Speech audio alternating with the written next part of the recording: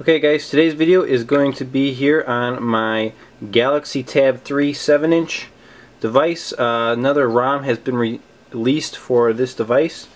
So let me just go ahead and show you what I'm working with so everybody's on the same page here. Like I said, Galaxy Tab 3 7-inch. This is the model number SM-T210R and this is the stock system I'm working with right here. Now, I'm going to show you guys how to install this ROM. This is called Rocket Tab and um, you're going to obviously need to have it unlocked, well custom recovery installed, all that kind of stuff, unlocked bootloader, all those kind of goodies to install this.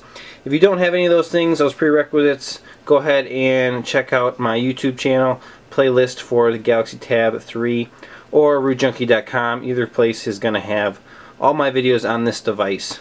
So, First things first is we're going to download a couple files and let me just show you where I've got mine stored at. So it should be here and downloads. So these are the two files you guys are going to need. You're going to need to have Rocket Tab Zip and Rocket Tab Full. Um, the Rocket Tab Zip is actually the ROM and then Full is an addition you would flash if you want all of your Samsung apps back. This is like the stripped down bare minimum stuff and this is everything on top of the bare minimum. So we're just going to install, I'm going to install this one which is called Light and then we're going to possibly install that one afterwards just so you can see a difference on it. So that's what you're going to need.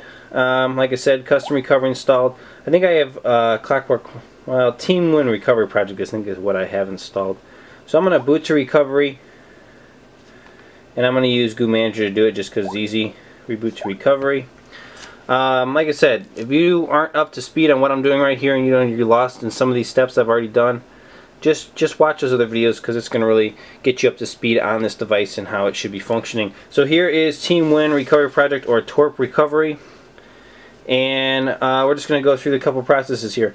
I would recommend go ahead and doing an Nandroid backup which would be here and sliding across to do that I'm not going to do that because you can see I have some older restore files here that I can restore to if I need to.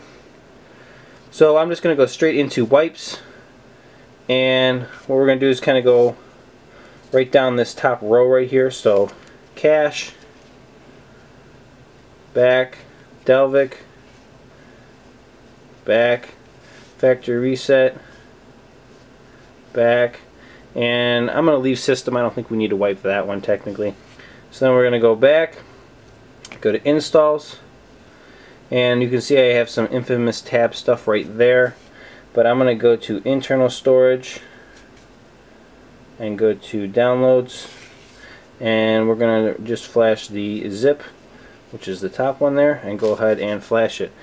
So this shouldn't take too long. It's not a huge file. I think we're about 300 megabytes, 300 something like that, and or 400 maybe and then the actual extra applications is about another 300 or 400 megabytes as well. Um, so pretty simple process, like you say, it's not hard. I'm to let this flash and we'll boot this thing up. Okay, so the flash has completed. So at this point, if you want all of the um, Samsung applications to come with the device, you, you would just go back here and pick the full zip, the one that says full, and click it like here swipe across and flash it also. But I want to see how the stripped down version looks. I mean that's an option if you want. So we're just going to back out, go to reboot, reboot system, spin this thing around. Not sure what our boot animation is going to be so I want to see if it's different than stock. Uh, see if this developer for Rocket Tab has changed it up at all for us.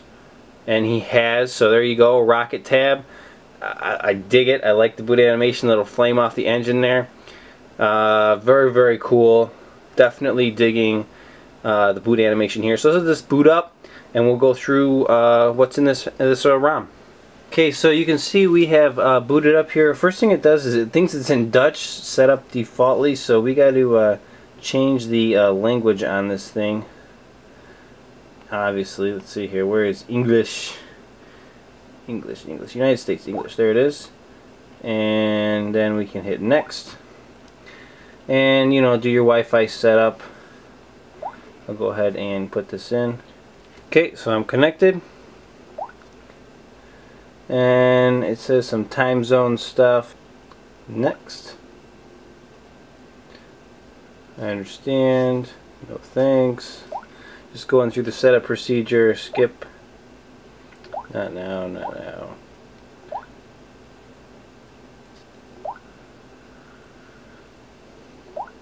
okay there we go. Setup should be completed. It says account just not going to do it right now. And here we go this should be the rocket tab ROM. So pretty basic right here. You got a couple apps on the screen that's about it. Press and hold to add an item. So you can add a widget.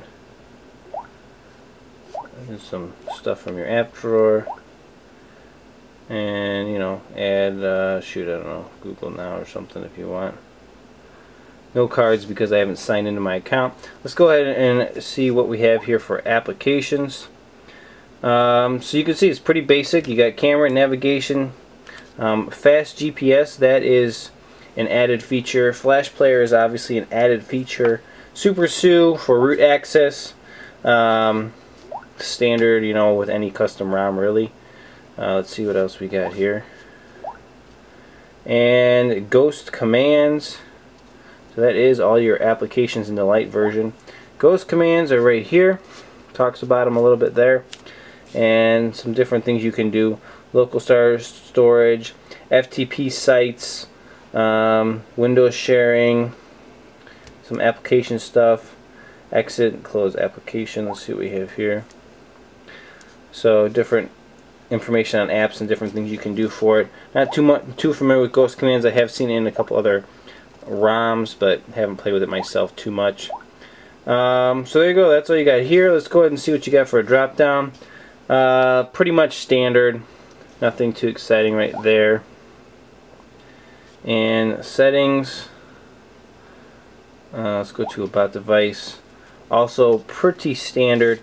Um, basically what this is, is this is a tweaked ROM that is tweaked for speed and customization and um, and nice little extra apps and different things in there as well. So you can see this is basically going to give you a very much a stock Google experience more or less because almost all the Samsung stuff is pulled out if you want to run the ROM like this or like I said flash that other zip and get all the rest of that stuff back preferred however you want it. This is going to run better because you're going to use less RAM this way. And if you want, you can just you know pick and choose the applications out of that zip instead of installing all of them uh, if you want to do it that way. So for example, um, I don't see a file browser in here. If I had a file browser, I think Ghost Commands has one. Let's see. Mm, not really sure. Local storage. Yeah, so if I come into here and I were to find my zip for full I could go ahead and click into it apps. And then I could actually extract these apps individually and install them just the stuff I wanted if I wanted to do that. So through ghost commands you can do that which is it's pretty nice. Those features are at least in there. Alright, that's my review of Rocket Tab. Uh, it does seem to run quite a bit smoother here. I can tell that already in the transition screens just because it has so much less on it um, so not a bad little ROM. Uh, that's pretty much it for uh, this review guys. As always all of my links to everything are in the video description down below. That's it. RootJunky out.